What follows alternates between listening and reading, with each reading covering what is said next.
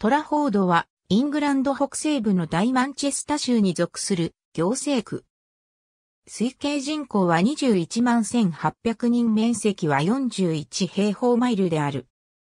区域には、オルトリンガム、パーティントン、セール、ストレトフォード、アームストン等の地区がある。1972年地方自治法の施行により、1974年4月1日に、オルトリンガム、セール、ストレトフォードの3つの自治バラと、ボードン、ヘール、アームストンの3つの都市的地域及び、バックローデンエン地域の一部区域が合併して誕生した。これらの自治体はすべて、かつてはチェシャーに属しており、ランカシャーに属していたストレトフォードやアームストンとは離れていた。サウストラフォードからノーストラフォードへ向かってマージー川が流れる。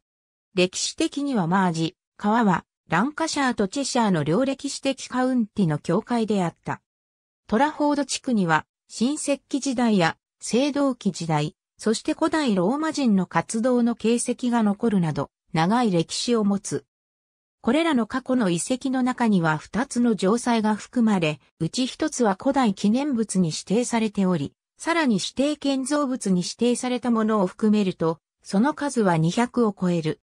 19世紀後半に鉄道の敷設とともに街は大きく変貌し、人口が急増した。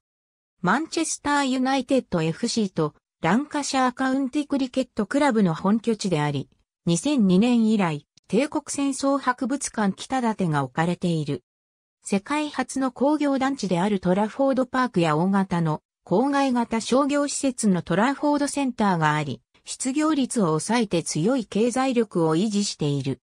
シティオブマンチェスターから離れた位置にありながら、トラフォードはグレーターマンチェスター内で唯一週間所得が全国平均を上回る地区である。社会的にはオールドトラフォードやストレートフォードに代表されるような労働者階級の居住する地区とボードンやヘールのような中流階級の地区が共存する。オルトリンガムセールウェストはベリーノースと共にグレーターマンチェスターの2つの選挙区のうちの1つで、現在は保守党が多数を占めている。ありがとうございます。